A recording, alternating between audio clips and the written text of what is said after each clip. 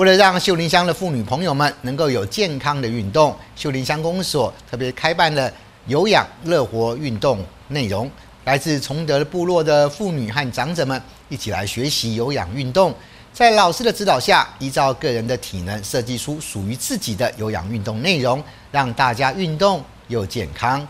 秀林乡公所提倡运动休闲健康活动。并且委由花莲县秀林乡文化健康发展协会办理一百零九年度社区有氧热火运动。协会理事长李慧玲表示，相当感谢秀林乡公所的用心来促成这项活动，部落妇女们和长者们则是相当的开心。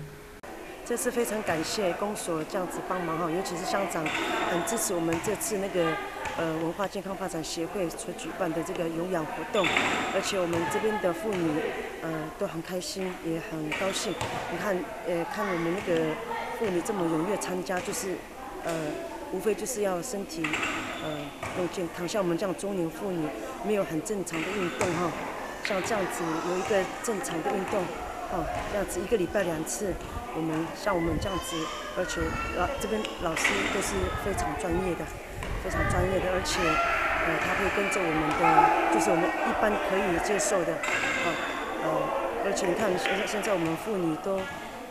都会流汗，呃，我觉得流那个汗是好的。参加的部落妇女和长者们则是觉得上班的时候是相当有压力，不过协会办理这项活动，让自己可以放松学习有氧运动。大家可以说是受益良多。好玩呐！为什么？流汗呐，可以流汗、健身、运动，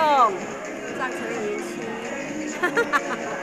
老人现在目前缺乏这个软筋的动作，呃，还不会有呃有专业的老师来指导我们做这种事情，哇，非常的呃难也难能可贵了。所以我们的妇女也非常的踊跃来参与。呃，我希望今后。